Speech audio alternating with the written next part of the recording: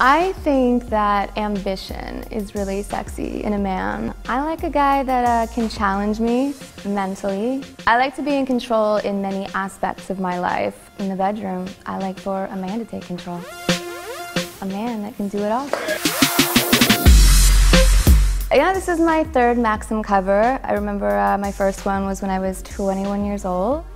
I like to keep it light, I like to keep it easy, and uh, fun for everybody.